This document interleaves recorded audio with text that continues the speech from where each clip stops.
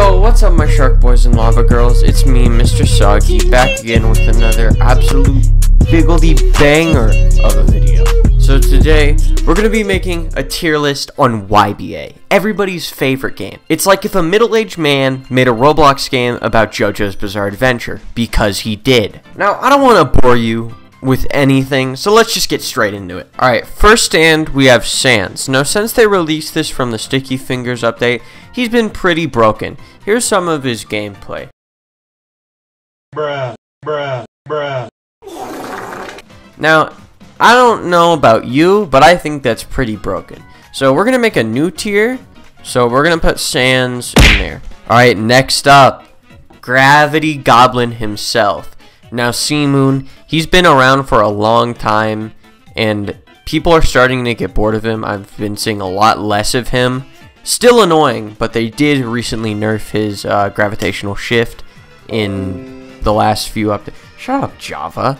So yeah, he is good, but since he doesn't get picked too much, he's like great. White Snake, this stand is super fun. Now this stand is super fun with certain specs, but it just doesn't do a lot of damage. So I would say like okay tier. Ah, Jesus. Okay, so Jesus, he literally made the earth. So I'd say mm, it's I mean, can Jesus beat Sans in a fight? Come on. So he's just going in amazing. Uh, the world over heaven. I think they nerfed him. I meant the world AU. Please feel free to call me racial slurs in the comments. Star Platinum the world. He's a lot of fun to play. Unless you're playing against someone that knows how to parry.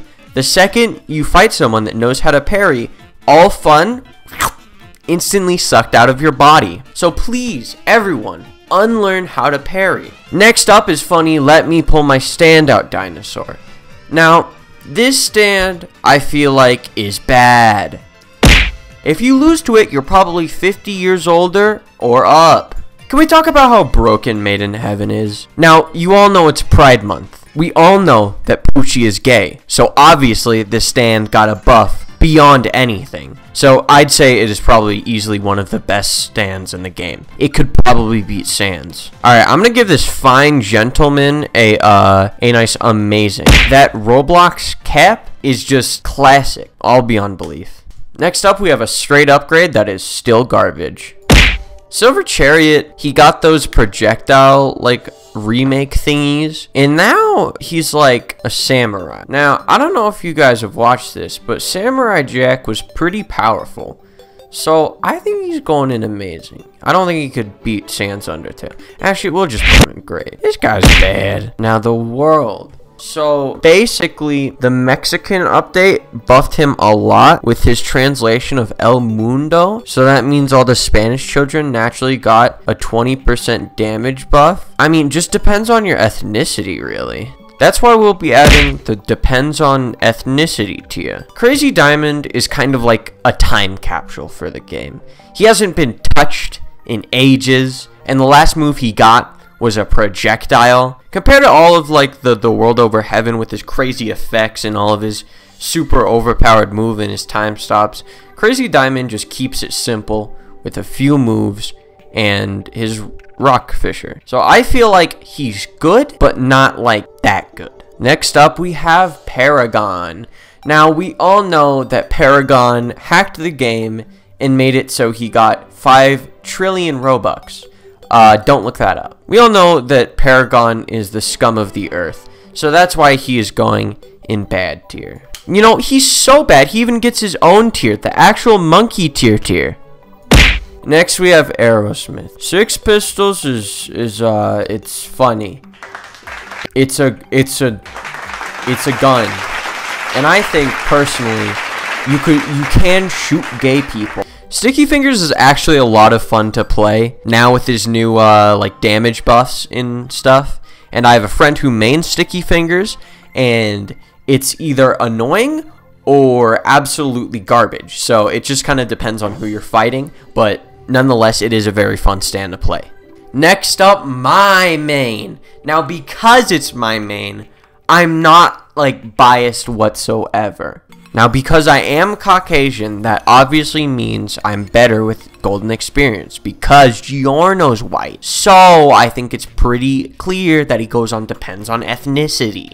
The hand turns black. Alright, next. Vanilla Ice. This guy, he has ice in his name. So you know he's gonna be dripped out as all diggity darn. Hierophant Green if you main Hierophant Green, you're either...